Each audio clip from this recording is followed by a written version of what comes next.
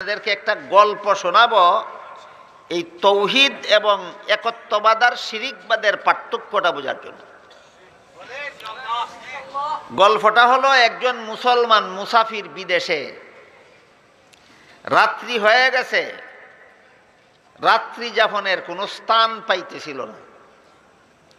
সন্ধ্যার পরে এক বাড়িতে গিয়া বাড়িওয়ালার কাছে রাত্রে তাকার জন্য আশ্রয় চাইল। বাড়িওয়ালা বলল, তোমরা যাতে মুসলমান। আমি হইলাম ব্রাহ্মণ। আমাদের বসতগড়ের ভিতরে মুসলমানদের তারার ভাষায় কয়, শেখ।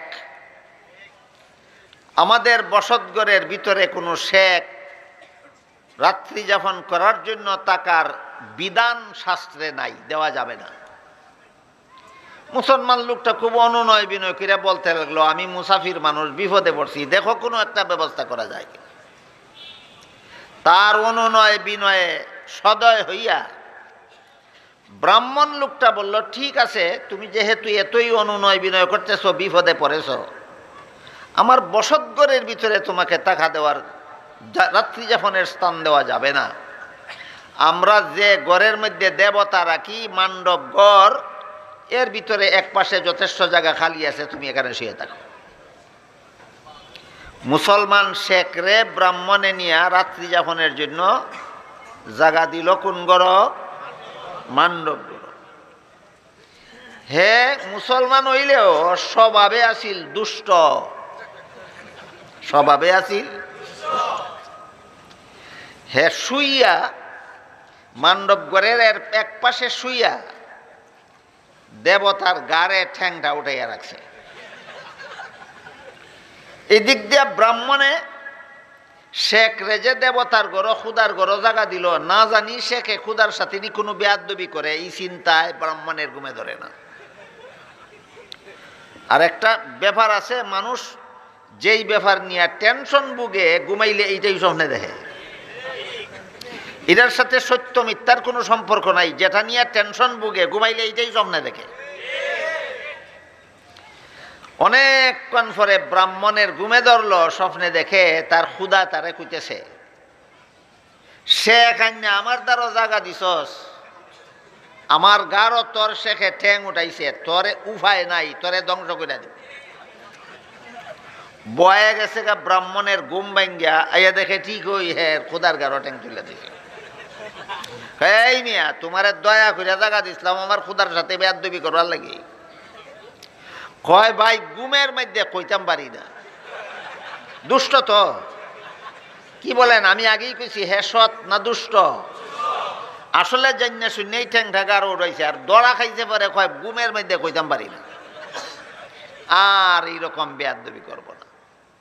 আবার গিয়া ব্রাহ্মণ ঘুমাইছে গর, আবার হে ঠ্যাং তুলছে। আবার স্বপ্ন দেখিয়া ইয়া কইছে, আবার কয়, মাফ চাই, আর যদি এরকম বেয়াদবি করিতে বাইর করে দিও। তৃতীয়বারের বেলাও হে দুষ্টটায় হে বেটার খোদার গারো ঠ্যাং তুলছে। আল্লাহ পাক রব্বুল আলমিন পবিত্র কোরআনের একায়েতে বলেন, লা তাসুব্বুল্লাযীনা ইয়াদউনা মিন দুনিল্লাহি ফায়াসুব্বুনা।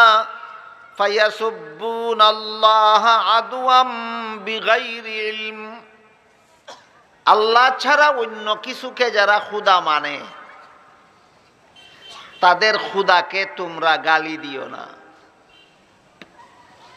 তাদের খুদার সাথে তোমরা অপমানজনক ব্যবহার করিও না। কেন? তাদের খুদার মর্যাদা রক্ষার্থে? না, আল্লাহ বলেন, তোমাদের খুদার মর্যাদা রক্ষার্থে। তাদের বাতিল খুদারে যদি তুমি গালি দাও, তাহলে তারা তোমার সত্য খুদারে গালি দিব। তাদের বাতিল খুদার সাথে যদি তুমি অপমানজনক ব্যবহার করো, তাহলে তোমার সত্য খুদার সাথে সে অপমানজনক ব্যবহার করবে। তোমাদের সত্য খুদার ইজ্জত রক্ষার স্বার্থে তাদের বাতিল খুদার সাথে বেইজ্জতি ব্যবহার করো। কিন্তু হে তো দুষ্ট, হে এইগুলি বুঝতে রাজি না। হে জান্না শুননা তার খুদার গারো ঠ্যাং তুলছে তিনবার। তৃতীয়বারের বেলায় যখন স্বপ্নে দেখে, তার খুদা কইতেছে, আমার দ্বারা সে এক জায়গা দিছস, তোর বংশ নিফাত করে দেব। আরও বিরক্ত লাগছে। কয় মিয়া, তোমারে এত বজনা করি দেখিয়া বারবার আমারে কইতেছ, আমারে ধ্বংস করে দিবে বংশনিপাত করে দিবে। অত ক্ষমতা যদি তোমার থাকতো তাইলে যে বেড়ায় তোমার গারো ঠ্যাংটা উঠাইছে, গার থেকে ঠ্যাংটা লামাইতে পারো না?